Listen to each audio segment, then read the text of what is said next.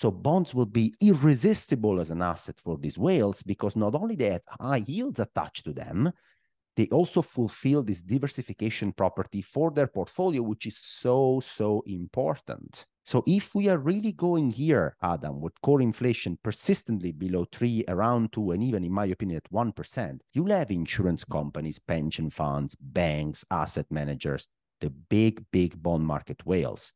They will be coming in in size.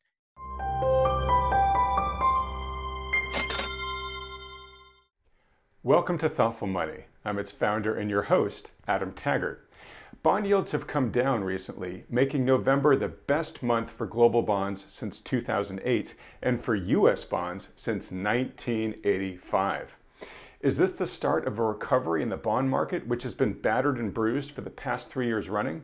Or is this just a temporary reprieve? To find out, we've got the good fortune to hear from bond expert Alf Peccatiello of the Macro Compass. Alf, thanks so much for joining us today. Hey, Adam, such a pleasure. And I'm very happy to be on your new channel. It looks awesome, and I'm very happy it's going well. Well, thank you. Um, so pleased that you could be one of the early minds on this channel. Alf, uh, a lot of questions these days about bonds. So to have your expertise here early on, a great privilege for all of us. You're also a good friend. It's just always fun to talk to you and see you again. Thanks so much for making the time to talk to us all the way from Europe. Um, all right, I got a lot to go through and uh, not a ton of time because we're both capped here uh, with with hard stops. Um, so let's dive right into it. What's your current assessment of the global economy and financial markets? I think we are in the phase of transition where people understand that inflation is going down. They think it is going down to the Federal Reserve target to 2%. I think they will be surprised that not only inflation goes down to 2 but it goes below 2%. And that will mean that central banks not only will cut rates, but they will probably be even more aggressive than what the market is already pricing in. And at the first phase of this transition, from, oh my God, this time is different, inflation is sticky, it will never go away, that was 2022. Mm-hmm. When you make this transition into, oh, inflation is going to two, and the next step will be, oh, inflation is actually going to be 1% at some point next year. At the early innings of this transition, people love it because the uncertainty out there in market gets taken away at them. I mean, you know, inflation is going down, the central bank is going to be predictable, they're going to cut rates, and all the negativity is going to be basically um, taken away. And, you know, companies that are under trouble will be rescued by a pivot from the Federal Reserve. That's the first inning of this transition. And the vibes might actually continue for a few months until everybody is really convinced that it's a soft landing with inflation at 1%, growth 1%, the Fed cutting rates, everybody's happy.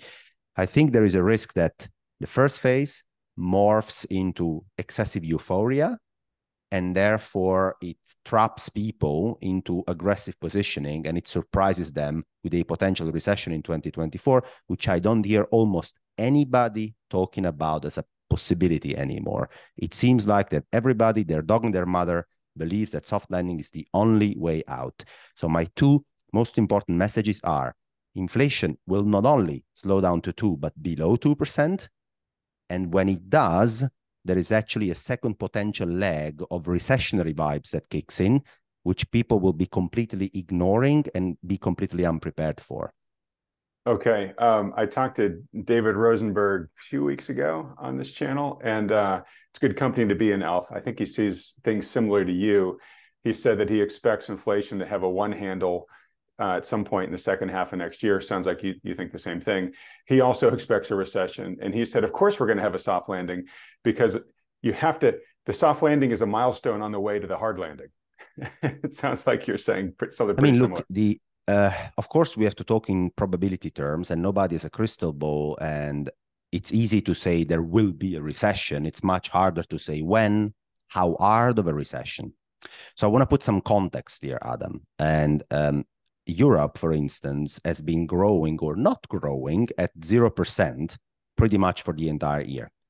UK real GDP and European real GDP has been pretty much 0% this year. So they're flirting with the recession. Same goes for Sweden. All the European continent is actually in trouble.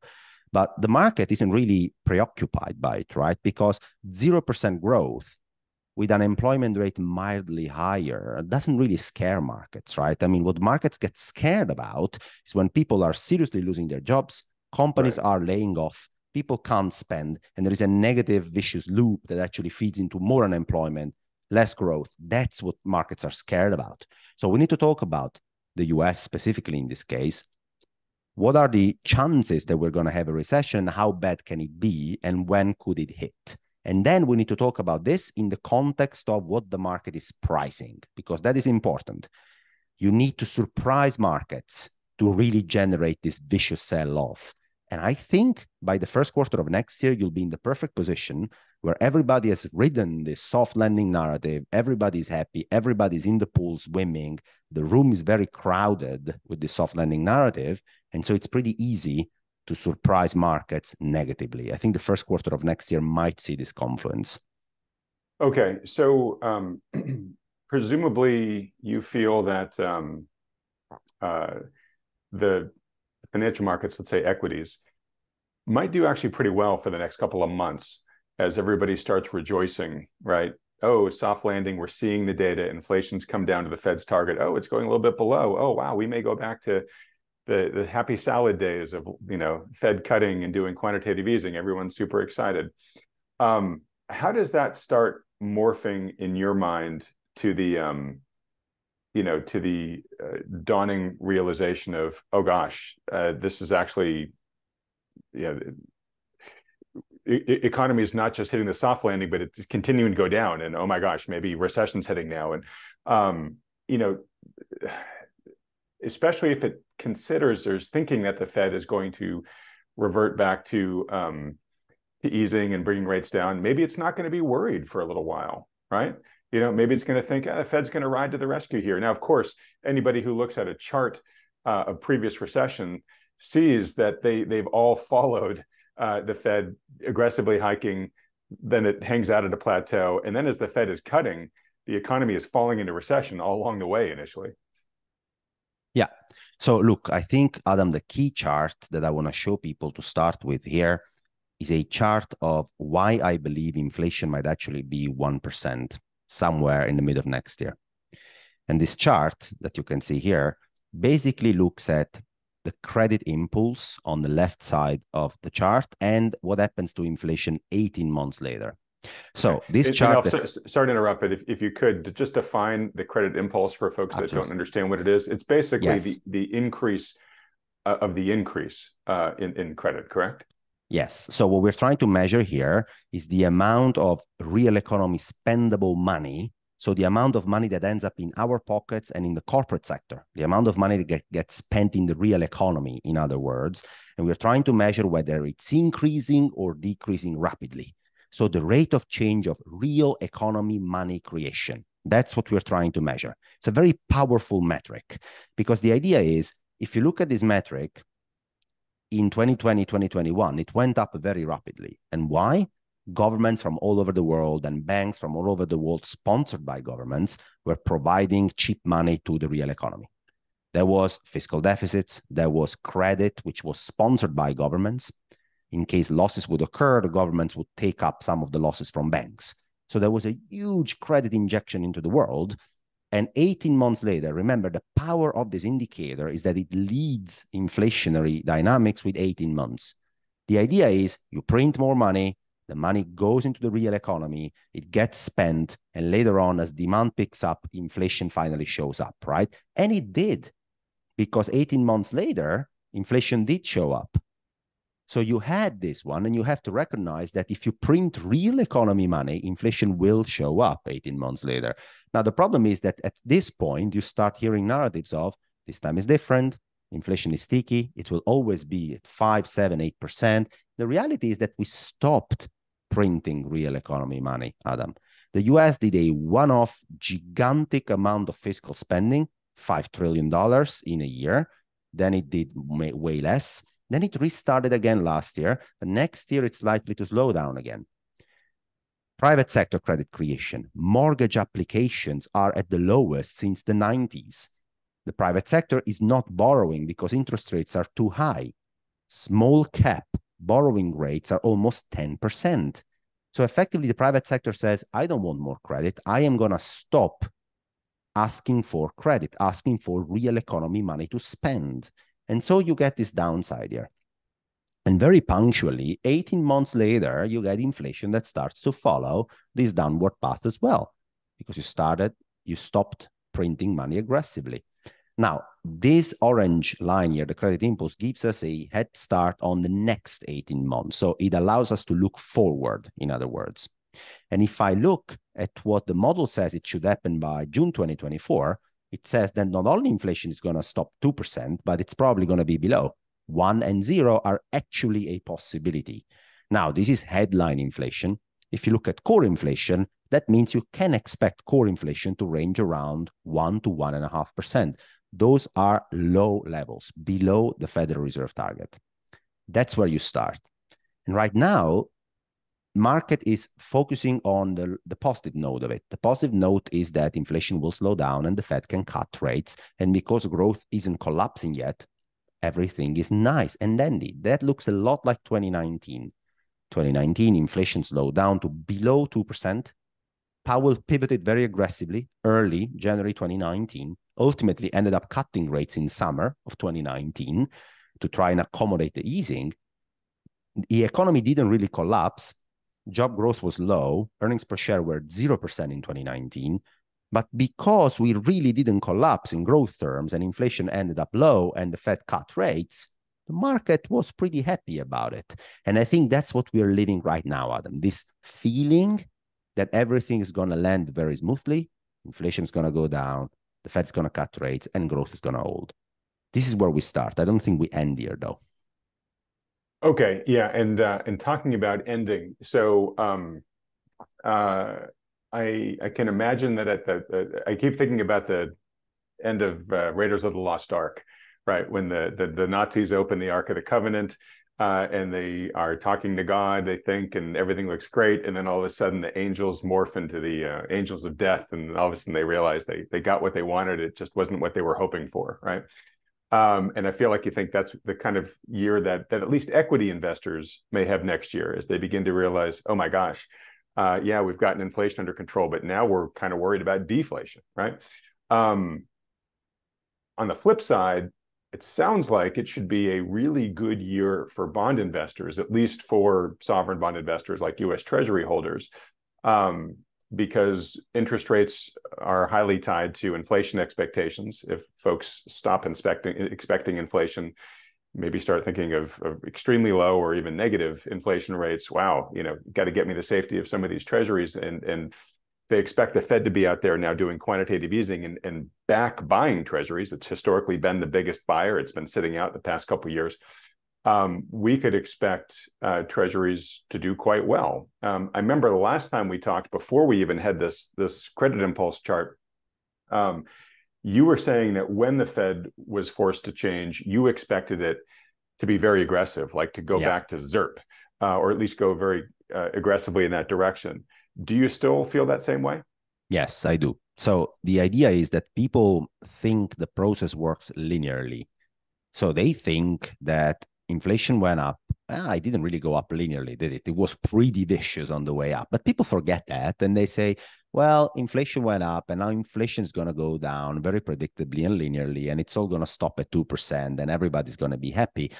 The problem is when you apply rapid changes to such a complex system like our monetary system, things are hardly linear. Adam. So when you shake that system with a lot of money printing, a lot of money unprinting, which is basically what we have been doing now for a while, in my opinion, the risk of convex nonlinear reactions are pretty high.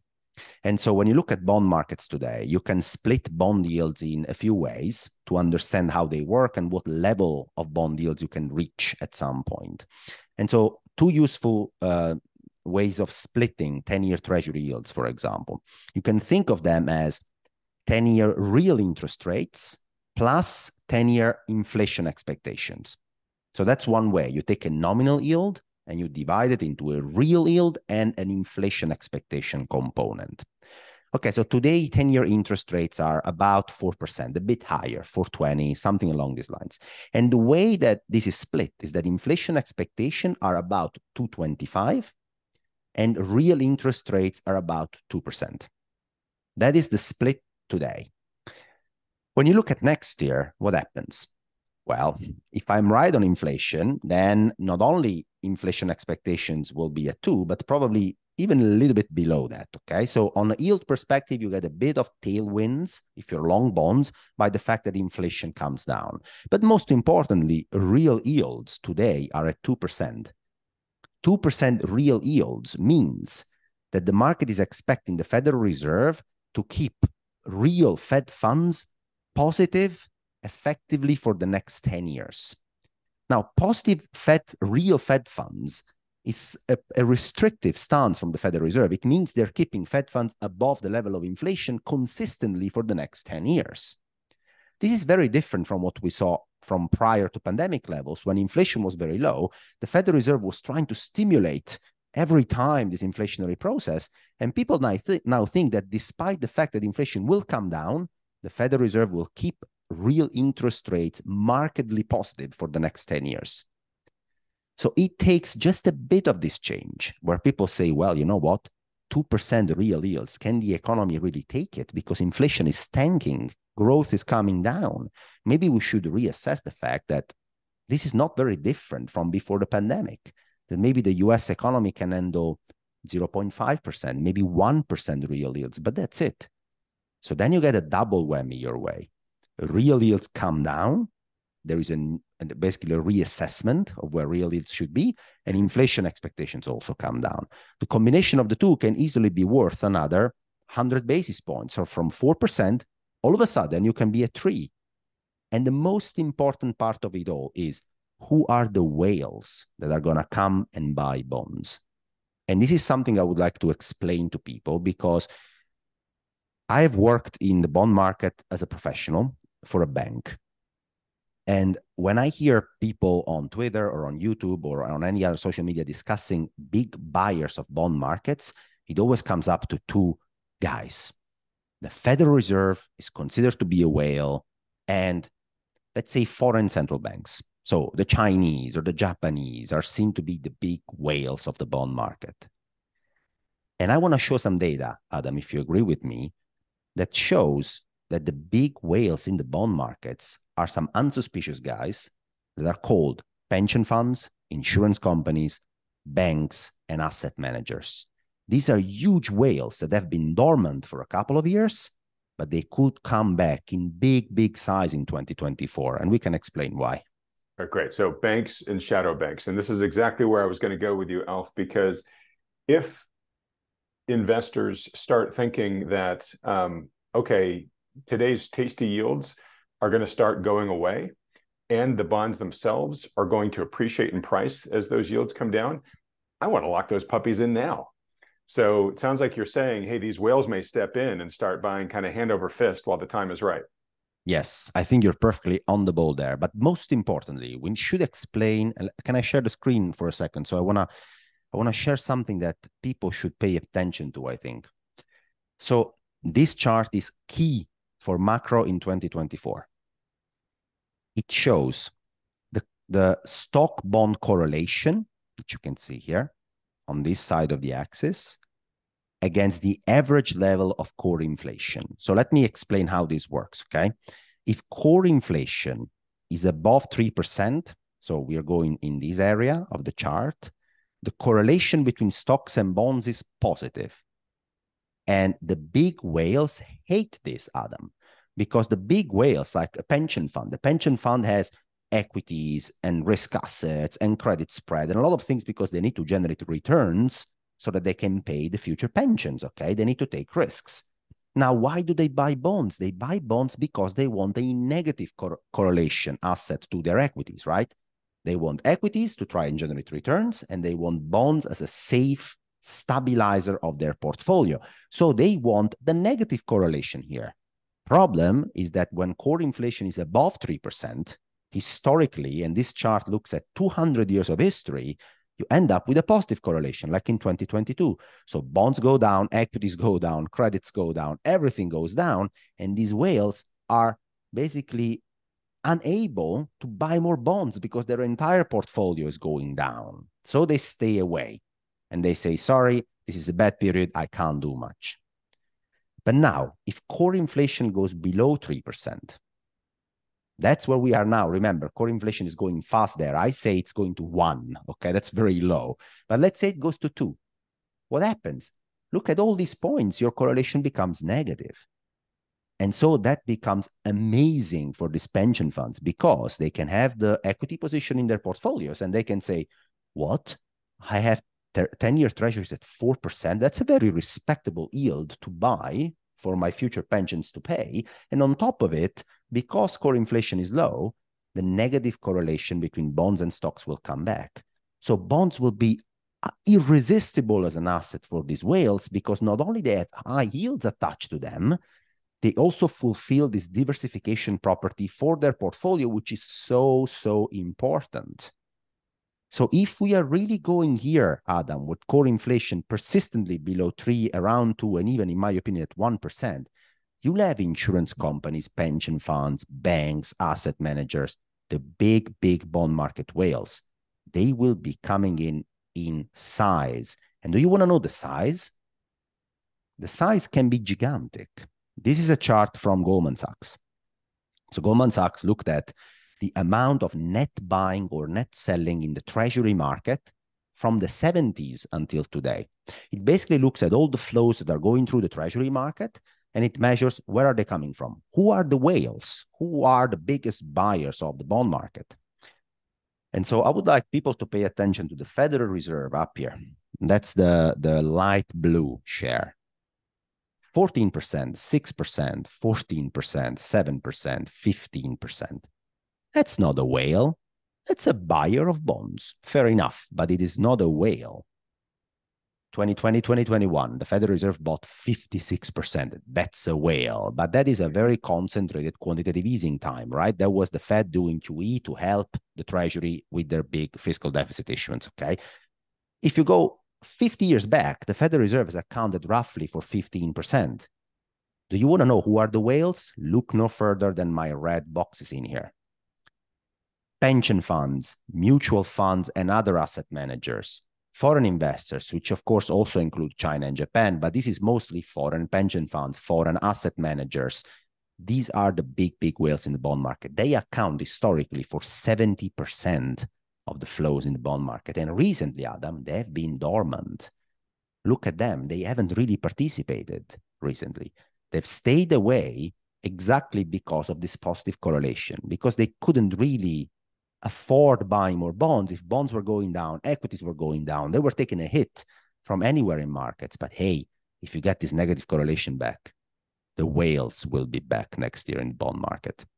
So Alf, this is fascinating. So on this chart here, yeah, when, when we were in the red zone, when inflation was above 4%, they couldn't diversify away their risk, right? That's correct. So they, they, they it was, it was game off for bonds, right? So if, if you can go back to the other chart, of yeah. your your red boxes there. Um, you know, the big buyers, right? You said basically went game off. Well, now they're going to flip to game on, right? But think about this too. Um, consumers, you know, they're not quite as smart as the institutional guys, but but they're not dumb. They're going to say, "Hey, you know what? Like we've been buying a lot of these bonds because we're getting much better yields than we were getting on our, our from our bank accounts but yeah, maybe this game is going to be over soon. So I still want to lock in this stuff while it's there. So they're probably going to keep buying. And then to your point, if the Fed is now getting involved because it's now beginning to worry about a recession, then the Fed becomes another buyer. It becomes basically game on for everybody. so not only you get the big, big whales, but the problem is who's the marginal seller right here? Because households, which locked in in 2022, 2023, households were the whales they were the guys looking at these yields four five percent and they said yeah give it to me man. Well done by the way guys because on average you have locked in good rates. You are the blue line over here okay? So maybe you haven't bought 30 year treasuries but you have bought front end bonds and locked in good rates. But at some point if you see that inflation is going down next year and if you see that things are normalizing and you even start wondering, yeah, maybe maybe we might fall into a recession, you are not going to sell your bonds.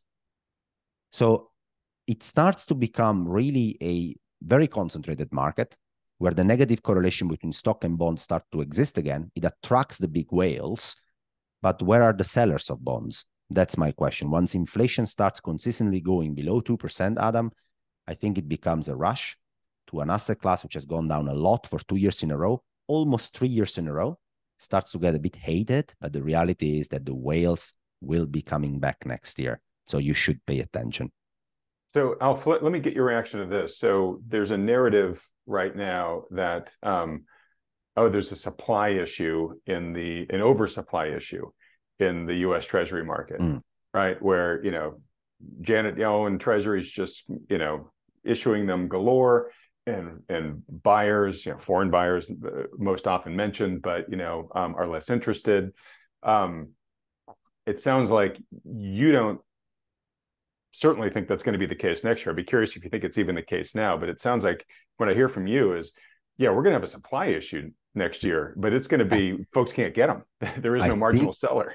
I think that's what's going to happen because everybody looks at the supply, but nobody looks at the demand for bonds. So everybody can say the treasury is issuing more. Yeah, sure. You just go on the treasury website and you look at the, the, the size of the issuance.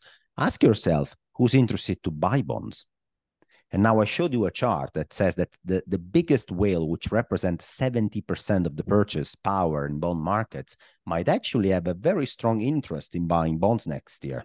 And the bond market this year has managed to close the year, ah, it's not closed yet, but almost, about flat, despite some big, big issuance that has come to the market, right? Remember August, September, October, all this narrative. The bond market is about to close the year flat, and the whales haven't shown up yet. So my point to you is you're wondering about supply next year. I'm wondering about demand because if the chart I showed you before with the negative correlation actually kicks in, then I can guarantee that the whales will be coming back. So supply is always easy to talk about. You can always say, this is the number, this is the trillion in deficits, this is the supply coming. Sure, that's true. But ask yourself, where is the demand going to come from? And next year, I can make a couple of points by, by which the whales will be showing up again and that demand can be really really powerful.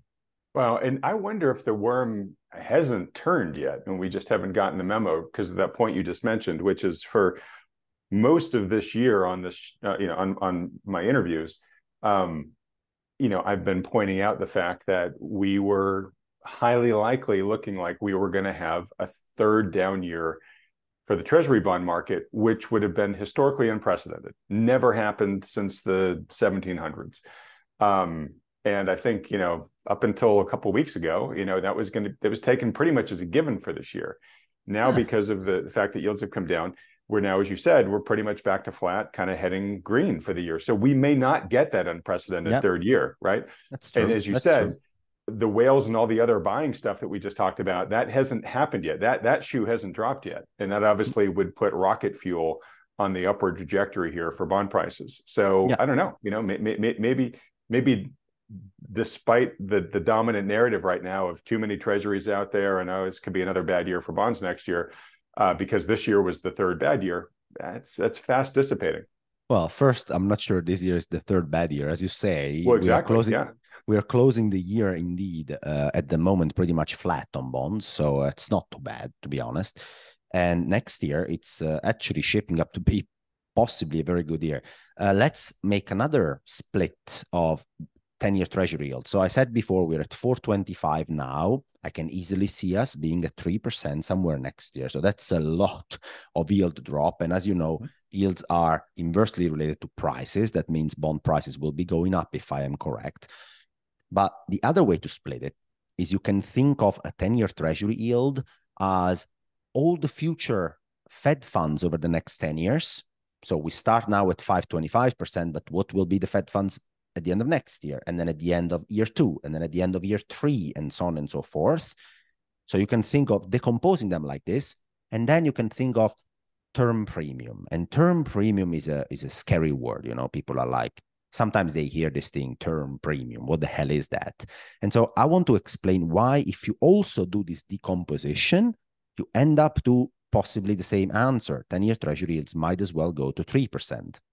So, if you bear with me for a second, I would like to um, share again a couple of charts with your audience. Excellent. So, look, here is the number of cuts priced by December 2025. That's the orange line here. And it's basically cuts over the next two years, okay?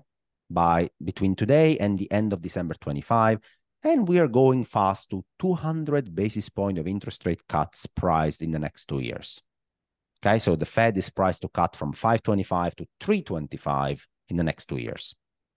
That still sees no recession, Adam. Let's make that clear. Because mm-hmm. if there is a recession, the Federal Reserve will cut actually 300 basis point in one year, not two years. So in two years, we'll be fast at zero. So this right. doesn't assume a recession. This assumes a soft landing. Yeah? And, and sorry, just to interject for one second. Um, if you look at the current dot plot, dot plot offered by the Federal Reserve, it projects this very graceful decline over the next yeah. five years. Uh, I'm not sure what it is exactly in the last one, but one of the most recent ones I saw, it was like down to 2.6% or so by, you know, five years from now.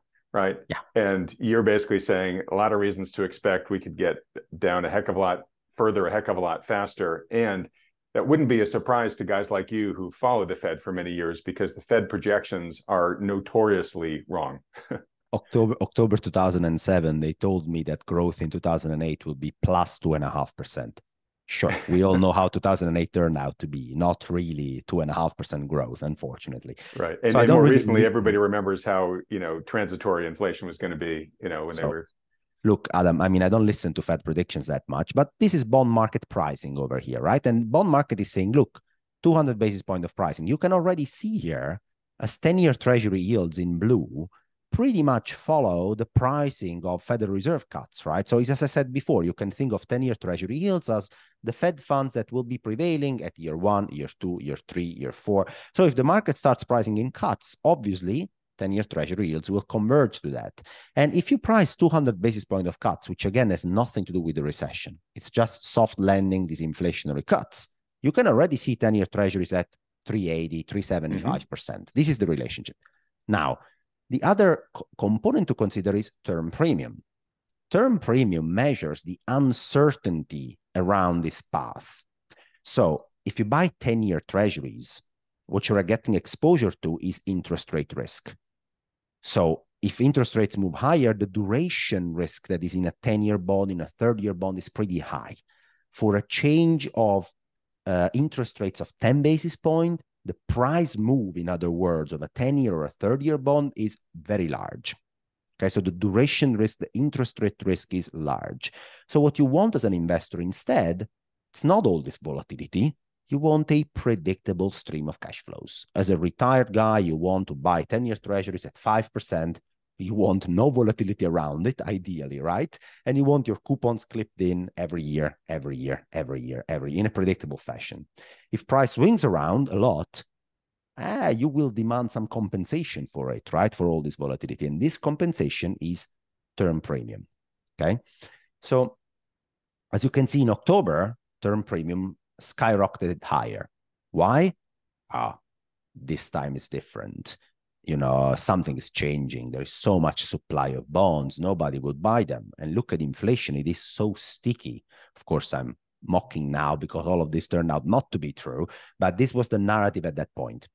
So the term premium had gone higher 10 year rates had gone higher as a result of all this uncertainty that people wanted to be rewarded for but now, what uncertainty are we talking about, Adam? Inflation is going fast to 2%, growth is slowing down, the labor market is slowing down, the Fed is going to cut. It all sounds pretty predictable, right? So people will be demanding less compensation for this uncertainty. And here I put a green area that shows what the term premium was on average between 2016 and even during 21, 22. Well, term premium was negative people don't want to be paid for any uncertainty because there has never been any uncertainty really. Inflation was predictable and growth was low.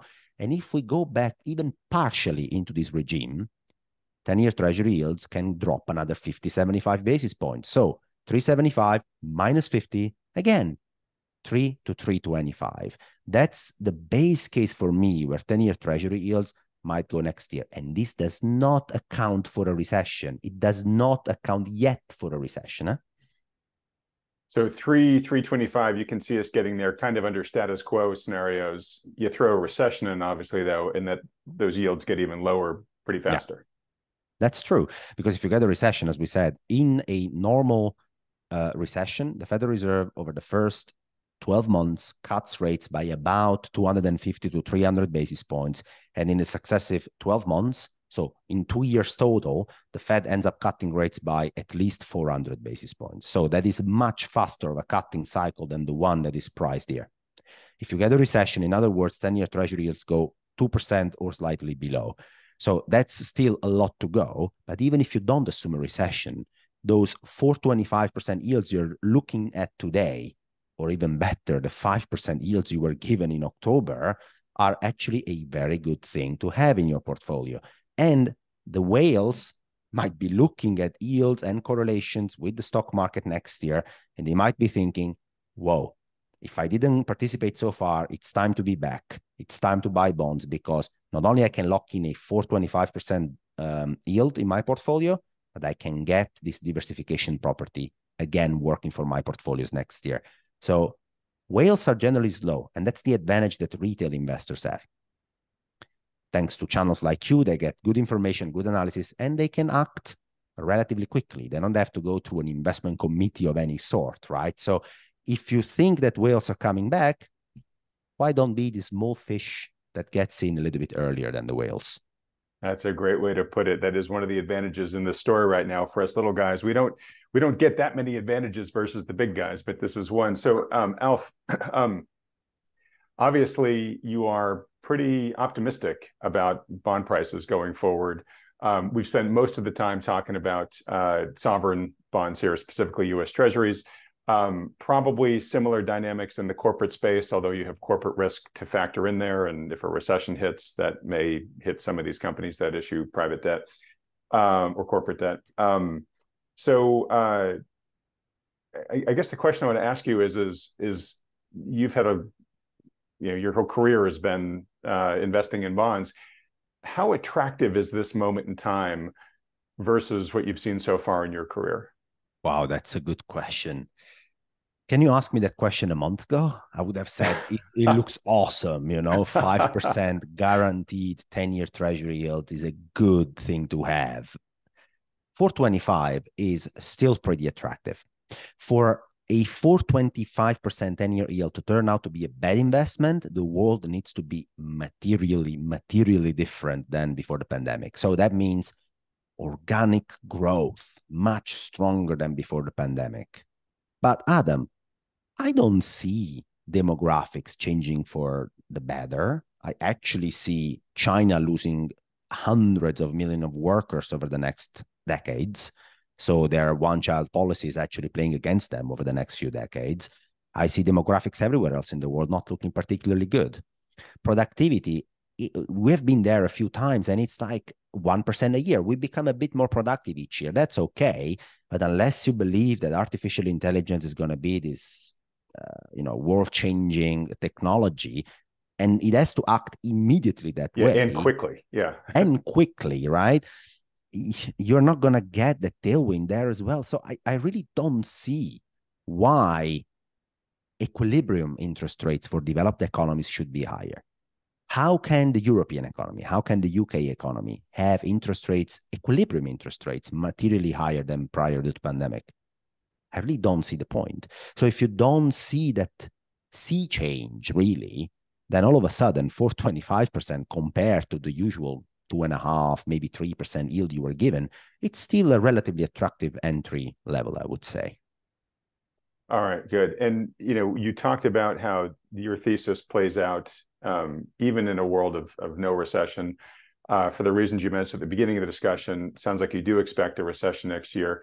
Just curious, um, how gut feel, or based on your current calculations, um, how how would you rate the recession you expect? garden variety, extra bad, extra mild? A really uh, a good question, and I think that the answer is um, garden variety is, is a good answer. Uh, I would expect that the labor market takes a hit, which is worse than people expect. At the moment, people expect no hit. They expect the nothing. Market. Yeah. So anything would be more than they expect. Yeah. So uh, I think, for example, saying stuff like unemployment rate might go up to 6%. It's not a ridiculously high level, but 6% is a few people will be losing their jobs. Okay. And why do I say that? The hiking cycle so far has not impacted corporate America at all. Actually, it has benefited corporate America on the net basis, which is ridiculous. And why? Because corporate America locked in very cheap borrowing rates before the Fed hiked. So they did so in 2019, 2020, 2021. They borrowed for 10 years, in other words, at very low interest rates, which means their refinancing needs in 2022 and 2023 so far have been very, very limited.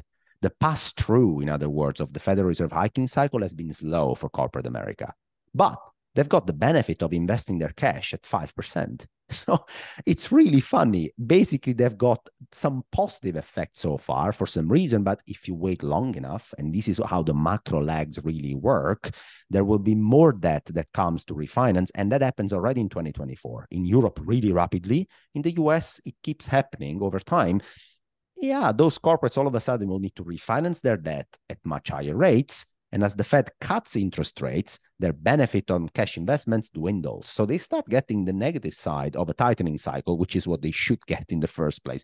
That was the intention. But because of the structure of corporate America borrowing, it's taken a longer time. And I think when it kicks in, people will be surprised that these corporates which by the way don't wait until the last moment. They make plans right? They look at how much they need to refinance and they will be like ooh uh, we gotta start cutting costs should, now. Yeah yeah. Yeah maybe my pile of earnings which isn't really increasing by the way. So it's it's like a stable pie of earnings okay? Where do i allocate it? Well now i have this amount of wages and this amount of production costs etc and then they next year they need to add the big big slice to that pie which is refinancing costs servicing my debt. It becomes much more expensive. It takes a larger portion of that pie. And the pie is always the same. So you got to cut somewhere, Adam. And I think people will be surprised that companies will be saying, I don't need all these people. Maybe I can shed 10% of my workforce. Mm-hmm. Then 10% here, 10% there, 10% there. It starts to sum up. Already now you see that hires, private sector hires in the JOLTS report are coming back down already to 2019 levels. And we aren't yet at the point where the refinancing starts to be felt. That happens somewhere gradually in 2024. So I think people will be surprised by the fact that the labor market can weaken more than they think today. Yeah, and you know, there's so much that I think is tied to the future of the labor market, housing being a really good example, um, where we have these kind of frozen markets or markets that have sustained at levels much longer than people thought. And I think for many of them, one of the key underlying reasons for that is that the employment situation hasn't really changed that much. But if that really does start to change, especially for the negative, like you might think, maybe it cracks open the pace of change and some of these other things. All right. Well, I'm going to start wrapping up here, um, Alf, just because we we both have uh, our constraints here. Um, but uh, I can't let you go without uh, asking you two things. Uh, one, you've got a great free resource for folks that are, or not free resource, but a great resource for folks to let them know about. Um, before we get there, though, real quick, I just want to ask you uh, your market outlook and for next year, which I think we've captured the spirit of, where I think you think the markets are going to have a pretty rough, the, the equity markets are going to have a rough time next year, while the bond markets do well. Um, but specifically, are there any other assets besides you you know sovereign debt right now that you think are good assets to be considering given how you think 2024 is going to play out? So i think for the next few months there are certain emerging markets which are still cheaply valued with very good stories behind. And uh, i think poland is a very interesting case. Poland is a very productive country which now has a solid government, new elections. So basically, my point is look beyond the United States. There are opportunities that are somewhere else in markets that are still cheaply valued. And then the other investment I would do, uh, and I know you start asking this question to your guests, so I'm going to anticipate uh, you there and answer this question already, because we always talk about money and investments and finance and stuff, but there are things you can do to become a better uh, uh investor and a more efficient person in your life And one of it would be to invest in your own communication skills. Mm. So if I look at people in the job market in general, negotiating with other people, presenting, communication skills are highly underrated. People don't work on them, both when it comes to verbal communication and written communication. It will fast track anything you do in life because an effective communication is uh, the ability of delivering ideas that are in your brain, and everybody has amazing ideas, but being able to package them and communicate them effectively to people, it's a superpower. It's really a superpower. So I would invest in that. That is fascinating, and you did correctly anticipate where I was going. So thank you. Um, and communication skills, I, I, I, couldn't agree more, especially as a guy in media. Um, but to your point, you know, a, a, vision can be great, but if you can't get people to understand it and get on the bandwagon, then it's just sort of stalled at the starting line. So um, I'm, I, I, wasn't expecting that one, but I think it's a great one. Um, all right. Well, so Alf, I, gave a quick little hint, um, but you have a bond course that you have packaged for today's retail investor. And given that you just basically spent the past hour telling us that you think there's a great uh, year up ahead for bonds, uh, tell people more about that course. Look, guys, uh, the course works like this the bond market scares people away. It's full of jargon and full of technicalities, but I wanted to end that for people so that people could really master this complicated market. So you can do that by buying my bond market course. It's four hours of material. You can download slides, you can buy it and then watch it at any time. It's really handy. And how do you do that? Well, you go in the link that I think Adam will put somewhere below the YouTube in the description. So it's easy to I, get. I will put it in the description immediately below this video, folks. But most importantly, most importantly, because you're listening to this awesome channel and you're staying with us for an hour, I'm going to throw at you a very special discount 20% off using the code ADAM, pretty easy, 20% off, but only if you are within the first 50 people to purchase the course. So take advantage of the offer, use the link below, put the discount code ADAM, and buy the bond market course. All right, great. Super timely. Thank you for giving my audience that additional discount, Alf. Um, real quick before I let you go, um, in addition to the course, which everybody should go check out, uh, if people want to follow your regular work, uh, where should they go? So they can start from Substack. I have a free Substack that goes out about every two weeks, and they can go there, and uh, it's called the Macro Compass. So if you Google the Macro Compass Substack, you'll find it, and you can sign up, and that's the best way to follow me. If you want something a bit more timely than once every two weeks, you can go on Twitter at macro alf is my handle. Um, there expect some tweets and some rants about foreign butchering of Italian cooking traditions. uh, you know, I get a bit upset about that, but you know, I'm Italian after all, so please excuse me for that.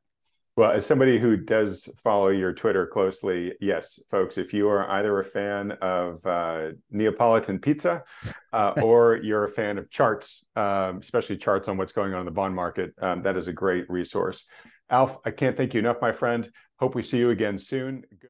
Well, all right. Well, now's the time in the program where we bring in the lead partners from New Harbor Financial uh, to react to what Alf just said. Um, I also want to spend a little bit of time with them talking about the interview with Felix Zulauf that we just released this past weekend, right before this interview with Alf, uh, because that was uh, a very important discussion as well. Um, and then if there's anything else going on in the markets or how they're uh, allocating their portfolio, we'll quickly talk about that too. I'm joined as usual by lead partners from New Harbor Financial, Mike Preston and John Loder. Gentlemen, it's great to see you. Mike, why don't we start with you? Um, Alf, um, clearly says now is a great time, he believes, uh, to, to be getting into bonds. He thinks they're going to have a good year ahead of them. What were the key things you took from the discussion? Hello, Adam. Nice to see you again. Thanks for having us here. Alf talked about bonds. The one key takeaway that I took out of Alf's talk is, is that he's bullish on bonds. The 10 year Treasury note is around uh, 4.25 right now after reaching a high of 5% in October. And I'll tell you that October low it's probably going to be a low that sticks for sticks for a while in terms of the price of bonds and the high end yields. Um, long term bonds really, really got hit hard in this bear market. They lost over 50% from the high. In fact, if you look at TLT and long term bonds in general, TLT being the exchange traded fund that holds long term US bonds, they dropped more than stocks dropped in general back in the 2008 2009 recession. So it was an absolute bloodbath. And the low that we saw in October probably is going to stick for a while. And so that caused yields to go from about 5% to 4.25%. But Alf just said in his talk that he thinks that yields could go to 2% on the 10 year in a recession. And indeed, he sees a recession coming. Part of the reason he sees that is because refinancing costs are going way up. Sure, there's people out there going from one overpriced home to another home, overpriced home, and that's and they're paying cash, and that's keeping the housing market aloft. But as refinancing costs start to eat away at the at the profitability of corporations, and it's going to happen, it's also going to hurt refinancing the the U.S. debt. So the Treasury is going to have to deal with that. But the refinancing costs should sh should be a catalyst or one of the many catalysts that cause a recession either next year or the year after. I think it's coming sooner. It's been somewhat forestalled this year because of easing uh, standards and, and, and rules on banks after the bank crisis. So, um, but should should come next year, and the ten year probably hits two percent in that case. So that means that bonds are still a good opportunity. So I don't I don't really hear him saying they're a screaming buy like they were a couple months ago, but you know, they're a good buy right here. I'm going to share a chart just to show you TLT, a little bit of what we're talking about. I'm going to move this off the, the page. Here's a, a daily chart of TLT. It hit this capitulation low, and it's been pretty much bound by this uptrend channel. Getting a little bit overbought as it approached the 50-day moving average. The other uh, red line is a 200-day moving average, but it's been pretty contained it wouldn't be surprising to see TLT to come back to 90 or 92. You know, maybe that offers a good entry point hedge for people that don't already own it. We actually hedged half of our position right around here, 90, 92. We brought in some premium. So our hedge uh, on half of our position sits right around this line. But longer term, TLT probably goes to you know 110 to 140 i mean if Alf is right we probably go even higher you know the 10 year yield at 2% would put you know tlt back up here somewhere at 140 so this is the weekly chart. But zooming in um, it's probably got a little bit ahead of itself and can consolidate a little bit. Alf talked a little bit about a few other things uh, of which I'll, I'll mention here. Uh, he talked about as, as well as bonds, he talked about emerging markets. Just a quick look at emerging markets. If we look at the largest emerging market, broad emerging market ETF, and we look at a monthly chart, it's gone nowhere since 2006. This is EEM. So it's had some highs and some lows, but the valuation on this market, uh, on these markets is, is very, very good with a Shiller price earnings um, uh, ratio somewhere in the teens. The S&P is closer to 35 to 40. You know, he mentioned Poland as a specific example. You know, I'm not so sure about Poland in particular, but emerging markets being you know at very good valuations is the the main reason why most of our equities are in emerging markets. Our model is up to about 27% stocks, 15% of that is in emerging markets, and we look at uh, particular countries like Brazil, India, and Mexico, all of which we have a position. We're also looking at Japan. We'll get a little bit into that later. Um, and we have a broad emerging market ETF. We also have hedges uh, with out of the money puts on the S&P so that if the whole market comes down, that we'll have some protection there. But emerging markets, we absolutely agree. Lastly, Alf talked about investing in your own communication skills. I think that's great advice. You know, investing in yourself, investing in your relationships, that kind of thing makes sense. But that's what I took out of Felix's talk, bonds, probably not a straight up move, but dollar cost averaging in if you're not already there makes a lot of sense. And emerging markets. I don't think I heard him say this, but I, but I'm assuming that cash is a big portion of what he's doing as well, and it's also a big portion of what we're doing. It's our biggest position. Okay, um, and when you say cash, you, you mean largely sort of cash equivalents like short-term U.S. Treasury bills, right? That you're getting a return on. Short-term U.S. Treasury bills, we've been extending out a little bit up to about one year, but you know we're essentially 40 percent or so in Treasury bills at present, you know roughly, because you have to have some dry powder to do something different. uh, if we get some kind of crash from here. Although, and, maybe John or I will talk about this a little later, short term indicators say that a further pop is likely in equity markets. So, but you're getting paid 5% to wait. So, unless you're getting better than 5% and any other ideas, doesn't make much sense not to have some treasury bills.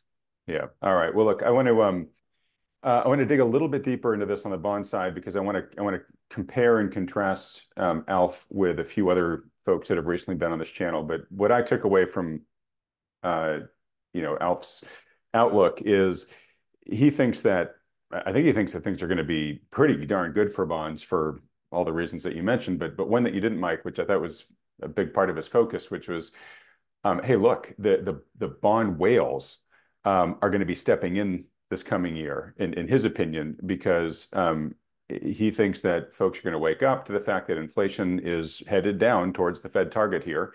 Uh, it is not going to be the problem that it was in the past. Um, and uh, that as folks begin to realize, okay, well, as inflation expectations come down, then bond yields should come down. Then I want to lock in these tasty, you know, relatively high measured by past couple of decades uh, bond yields right now, right? And so you have all these big players that are all of a sudden going to start trying to scramble to the market and say, hey, before yields go any lower, I want to try to lock them in in this, you know, four plus world, right? Because may, maybe maybe the peak is in, maybe I missed the five percent, uh, you know, ten year, uh, but I'll, I'll tr still try to lock it in at four and a quarter or whatever, right? So um, obviously, as those people come in and buy bonds, uh, that'll push up the price and therefore continue to bring down yields. And again, that's that's that's not even including a recession, right? And then he says you get a recession in the mix, as you just said, you think is is more likely for next year than not. Uh, then it just becomes game on in terms of how low yields can go. Um, so I thought that that was really interesting. Um, I want to I want to contrast that to um, you know we've had some other people on the channel um, who aren't interested in touching bonds, right? You know that they're just saying, look, I I I think inflation is going to be stickier uh, than folks imagine. I think we're in a new secular era of higher interest rates. Um, and, uh, you know, they just think that, you know, bonds are to be avoided at this point, particularly the long duration. Um, you know, short-term T-bills, yeah, no problem, but going out in duration, that that that's a bad uh, bad recipe. And then you have folks like Felix Zulauf, and I'm going to want to talk with you guys a little bit more about Felix's um, specific predictions but he thinks that bond yields are going to come down. But he's basically saying, you know, it's going to be messy enough that it's not really a main part of his value play for next year. He's just like, I'm going to leave that for more aggressive people. Um, but just to summarize what he thinks, he thinks that bonds are going to, bond yields will continue to come down to around 3.7-ish or so by the end of Q1, which is when he sees the stock market making a new high. But then he sees the wheels start coming off, and he thinks that bond yields could go higher in the short term, um, maybe to a to a new um, a new high for the year, uh, or at least the past 12 months, get up to maybe the 5.5% range on the 10 year, um, and then then head down to like the 3% range by the end of the year as it's, you know, the markets are correcting hard. He expects the S&P to go down 40%, um, and, uh, you know, recession to kick in. Now the game changes going into 2025 because that's when the central bank rescue efforts really start goosing everything. But even though he sort of got that general arc for the bonds, uh, bond market, he's like, I'm not really going aggressively out on duration because there's just too much uncertainty, and I feel like I could get really kind of knocked off, uh, you know, knocked off my trajectory there if it ends up following a different path and I think it's going to. So he's kind of like, you know, gingerly participating in it, if at all. Um, so uh, I'm, I'm curious, Mike, if you could just give me your thoughts on what you guys at New Harbor generally think the arc for bonds are going to be, and and what are you doing with your portfolio on the longer end uh, of of the duration curve? Yeah, Felix's talk was very good, and and like you said, he's gingerly long bonds because he expects you know perhaps a drop to to three seventy five. I I just said that I agree with Alf that I think ultimately we deal with a recession and and maybe worse, and that during some kind of panic or deflationary scare that that that bond yields on the 10 year can go down to 2%. That means that I think that there's quite a bit more upside, but Felix ha had a good point. He's like the bullish positioning in long-term bonds is a little bit disconcerting and it's something we're noticing as well. Right? There's there's been no real capitulation. There's there's a lot of bullishness still in that space, which is kind of surprising seeing that bonds have fallen more than 50%. But we would agree with Felix that we're, we're not married to this trade. This is a trade, not a long term investment. And I think that's essentially what he said. You know, and we're only about 10%, maybe 12% in the long term bond. So it's not a huge position. And we use options quite a lot. We were surprised by how fast we fell into October, but we defrayed a good portion of that with our hedges. We had in the money puts that we have since taken some profit on. So I, believe, I believe that if yields do what Felix said, and that is go down to 375, that we'll be able to play that pretty well. Our plan is to keep this position on, to have some options around around that position so that we can hopefully make some money on the options as well. But you know, if if the 10-year yield goes to 375, then I would expect you know TLT for instance to to get to the high 90s, maybe even 100. So there's some money to be made there. Long term, more than 2 years out, I don't think we want to be in long-term bonds because I think the end game of all of this is you know, a monetary panic uh, where, where the Fed just, you know, responds to what is likely a hard landing. Another thing that Felix said, um, we're probably going to see surprise. It's not going to be some soft landing equilibrium where we just kind of all, you know, dance away into the sunset. It's probably going to be some kind of crisis and shock. The ultimate response to that is going to be, I think, money printing like we've never seen and inflation. We don't want to be in bonds during that time. So, you know, maybe between now and a year and a half from now, I think that we can do well riding the trend of long-term bonds, which is likely to be higher but messy. It will not be a straight line, not a V-shaped recovery. There's probably too much bullish positioning for that. Um, but you know, I think with options and the way that we can hedge, we can ride that pretty well. So modestly bullish, not going to be a straight line, and not forever. Probably not uh, more than two years. Okay, great. Thanks. John, let me pull you in here. Um, curious, we just talked an awful lot about both Alf and, Felix. So I guess first, do you want to add into anything here that Mike said?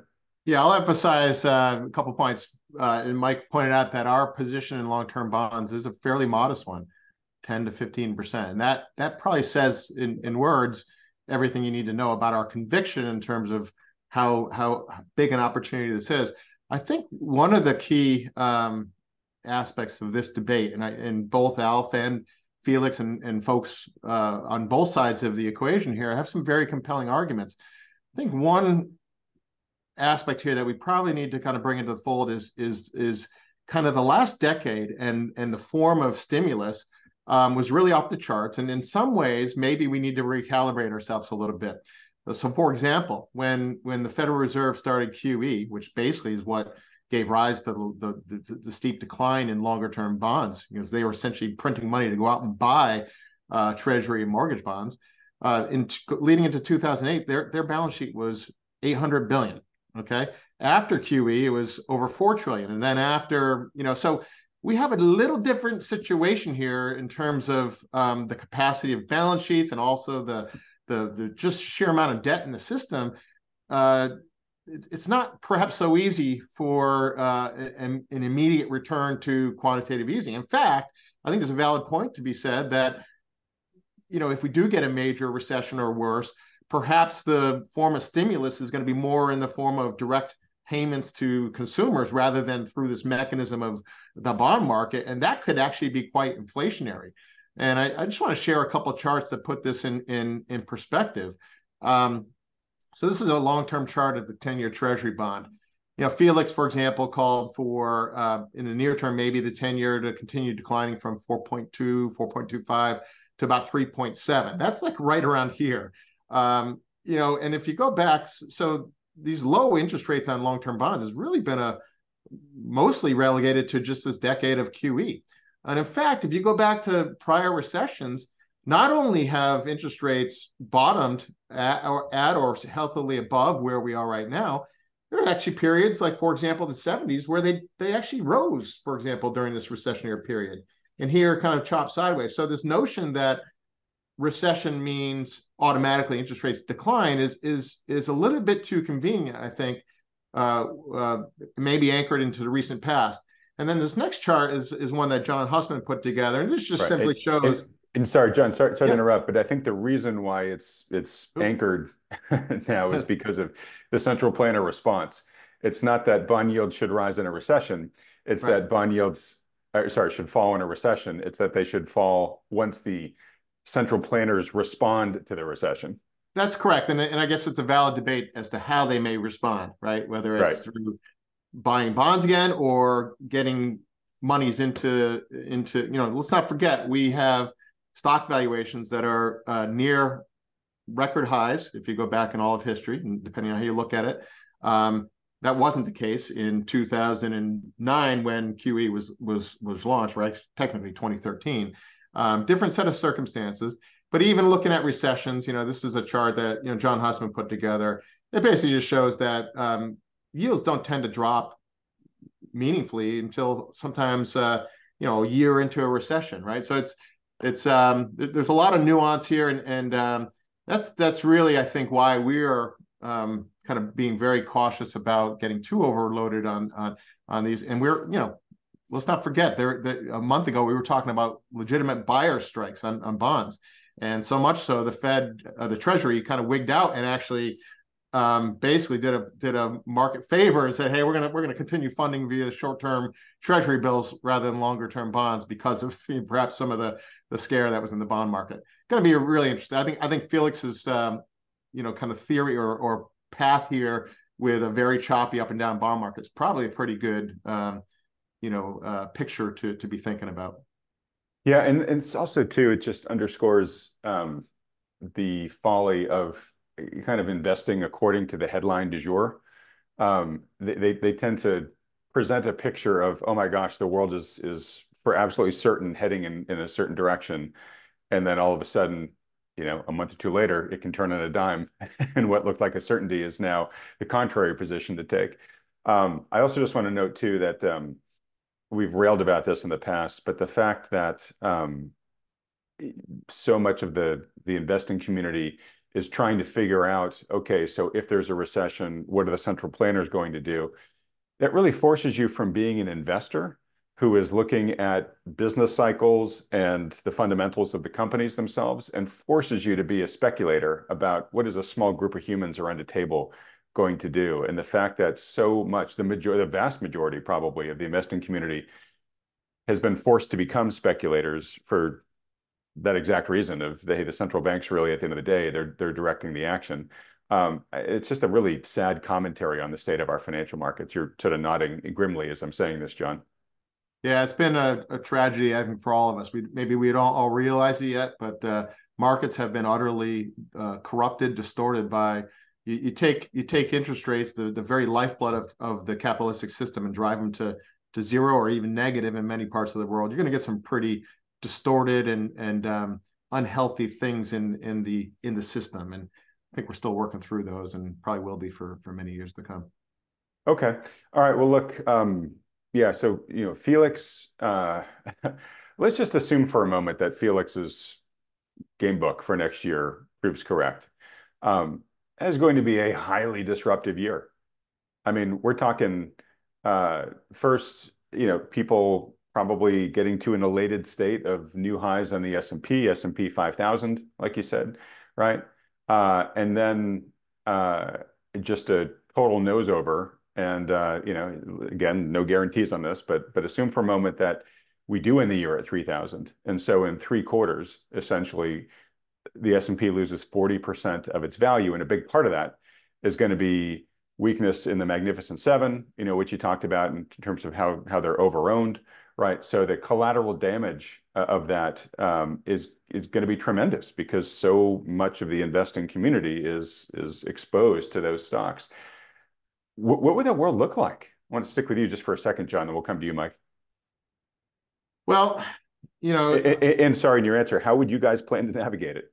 Yeah, well, chaotic is is is I think one word. Uh, but we've been here before, right? Um, this isn't the first kind of episode where we've had very uh, extreme bubble valuations that seem like they uh, are never going to matter. Um, you know, perhaps this this time has been a bit more extended. Um, and we, we've we've seen episodes like this before. In fact, I'm going to share another chart of, of John Hussman's just because it's it's so good. I think And this, I think, puts a lot of that into perspective. Um, so this chart goes back to 1928.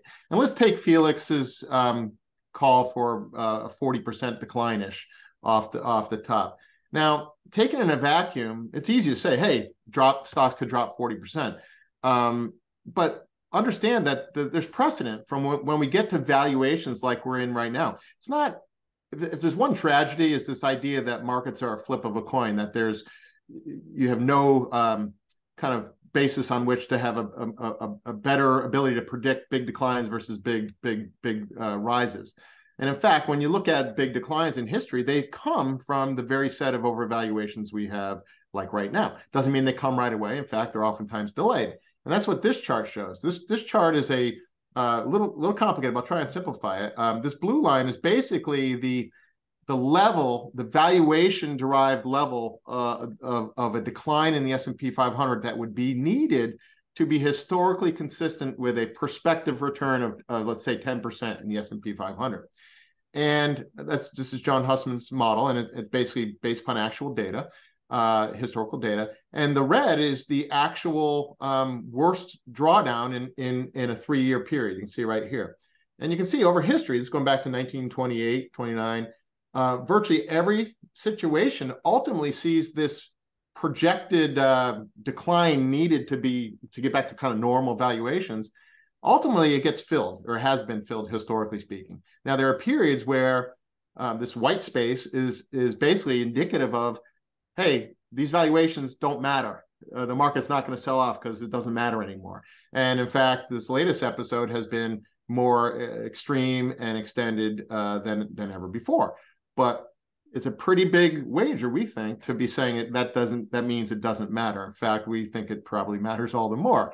And combine that with the real challenge that our clients have. It's not, you know, posting 10 year annual returns on some mutual fund um, fact sheet. It's, hey, is, is my money going to be here to provide the kind of returns I need to provide for uh, my living? And I have a, a, chart I can show you here. If we actually look at the timing of, of returns, you know, you take, for example, the 25 year period of uh, if you had retired in 1973, and looked at the actual returns over the next 25 years, that was a devastating period because the 73 74 was a very nasty two year bear market. You simply reverse the sequence of the, those returns. In other words, the 1997, 1996 are the first two years, and 1974, 1973 are the last two years. Um, dramatically different results in terms of how likely the, the nest egg is, is to be able to sustain itself and provide a client what they need during their retirement. So that's really where this this really hits home for us and our clients. It's not about projecting returns just for the sake of doing it. It's about hey, can our clients um, is their nest egg going to be sufficient to provide what they need when they need it? Yeah. Um, so it's you know definitely speaks to why sitting down with a financial advisor and doing a financial plan and doing the scenario planning is so important, right? So you can see you know, where the vulnerabilities lie um, in terms of timing of when you make certain different decisions. Um, and, folks, if you're watching and you haven't uh, created a financial plan yet with an advisor, or if it's been a couple of years, highly recommend you do that as we get into the end of the year and you're trying to, you know, hopefully start 2024 um, on a sound financial footing. Um, that chart from Hussman there is a scary one, John, because it basically says to Felix, hey, I'll take your 40% decline and I'll raise you because it seems to predict about maybe a two thirds decline based upon the current model. Um, that's, that's actually what that says. But John Hussman would also be the first one to say it doesn't mean it, you know, a, a, a uh, you know, a scenario where we don't get down to those those levels of sell-offs. It likely just means from a, from a mathematical standpoint that the subsequent returns are just not going to be that compelling. They're not going to be 10% annually. Maybe three or four is, is where we top out. That's that's really what that means. And and uh, you know. Yeah, and and we've shown the scatter plot from from John often that shows the projected 12-year return in the S&P based upon today's current level of valuations, and that still is negative, right? It's something like negative 4% or 5% for the per year for the next four years. Somewhere in that ballpark, yep. Yeah, which could be a massive drawdown, you know, uh, and then rebuilding from there, or to your point, it just could just be a slow grind down, right? Just just a, losing a couple of points a year for the next 12, which would be just you know, pretty miserable for folks as prospects as well. Um, all right. So um, who knows if that's all going to happen? Um, again, that's why we have you guys on this channel every week, uh, so that we can be looking at the the action as it is developing week to week, and you know help audibly guide folks as to what's going on. You guys will share your decision making process for us. Um, we got to start wrapping it up here, Mike. Um, anything else on your guys' end in terms of new positions you guys have taken or um, plannings that you guys have with your portfolio? uh, heading into the end of the year here? And I guess in your answer too, if you don't mind, um, is there anything you would recommend viewers do, given the fact that we are now just a couple of uh, weeks from the end of the year here in terms of just tidying up their finances for 2023? Well, I'll try to respond to that briefly. In terms of year-end things, um, definitely want to look at gain loss situation. You can, you know, take a three thousand dollar which seems ridiculously low, by the way, a $3,000 maximum loss against income and unlimited amounts against capital gains. So take a look at gain loss. We're certainly doing that here and uh, are going to do our best to net out, um, you know, to either no gain or a slight loss so people don't have to worry about that. But individuals should be doing that. Charitable giving makes sense as you enter, um, you know, at the end of the year. You can give up to $100,000 directly out of an IRA if you're um, you know, basically, if you're taking required minimum distributions already, there, there's a whole bunch of other things as well. Um, but those are those are really the two big ones in terms of year-end stuff. Happy to talk to anybody um, you know that wants to wants to chat about that. I guess one other thing that we're very busy with right now, I should mention, is Roth conversions.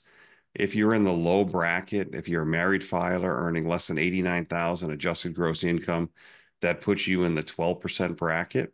And so Roth conversions, if you're in the 12% bracket, are almost a no-brainer up to that limit, up to that cap of roughly 89,000 for 2023, and it's half that for single filers. So some people are in that situation. They may have low income or they may have retired early but aren't taking Social Security yet. So it's a really common conversation that we're having. If you're in that bracket now, but it may be going up later, think about doing that Roth conversion this year as we've got just a couple weeks left. Hey, sorry, Mike, just for the folks that might not know what you mean by Roth conversion, can you just give a quick description of that? Sure. A traditional IRA is funded with money that gets uh, that goes in pre-tax. That is, you get a tax deduction for it. Or if it goes into a 401k at work, you don't get taxed on that money at all. So that traditional IRA or 401k is all money that's never been taxed. When you ultimately take it out, and you have to start taking it out with required minimum distributions at age 73, that that age is ultimately going up, but you know, roughly 73. When you take it out, it's taxable as ordinary income at whatever tax bracket you're in. A Roth IRA or Roth 401k by comparison is money that's post tax and it never gets taxed as long as it's been open five years. All the principal and growth in the Roth IRA is completely tax free. Technically, the principal is always tax free, but the, the key is the growth in that Roth IRA is completely tax free for the rest of your life. You never have to take required minimum distributions either, which is important to some people. So, if it's important to you to never take required minimum distributions, and to leave a legacy perhaps for the kids. Um, if you live to age 100, you don't even have ever have to touch that until they inherit it. So it's powerful. I mean, I'm not that crazy about paying taxes now versus later, but if you're in the 12% bracket, it's kind of a no brainer. So wanted to put that out there. And if I could just close by saying one or two things about more about what uh, Felix said, I'd, I'd love to do that. Go for it. Um, this is an environment that hurts everybody. It's a very you know it's it's a very unsafe market. It's not a real market. It hasn't been for quite a long time with quantitative easing and we tend to agree with what Felix is seeing and that we probably have a move higher here.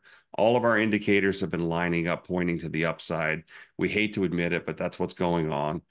We reduced hedges and added a little bit to our stocks because of it. So we're presently at 4600 on the S&P. Felix says that maybe we go to 4900 or 5000, a new high, ultimately drop to 3000, which is a big drop, 40%.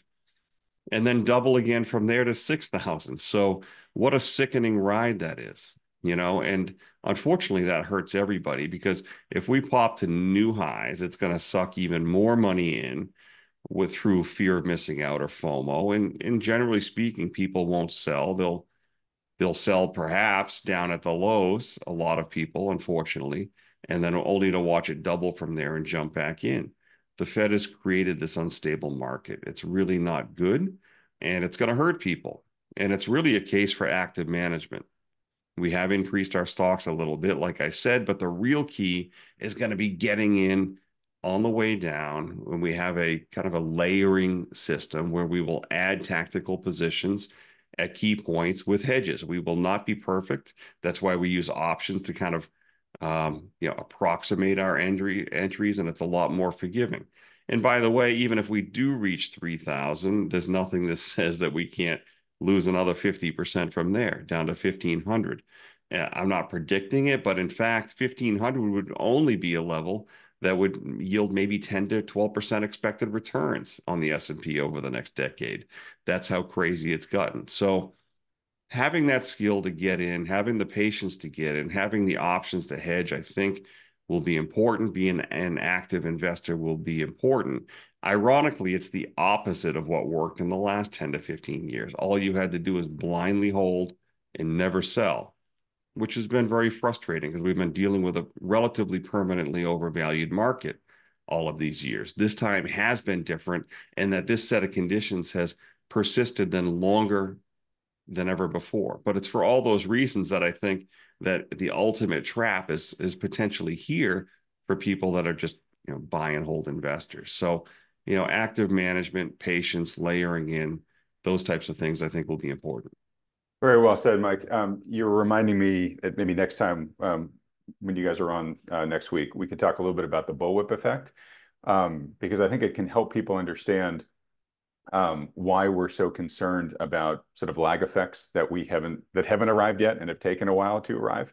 But when you pull liquidity in and out the way that the Fed has done here with its uh, rate hiking regime, its historically unprecedented rate hike regime, after a historically unprecedented amount of stimulus going into the economy.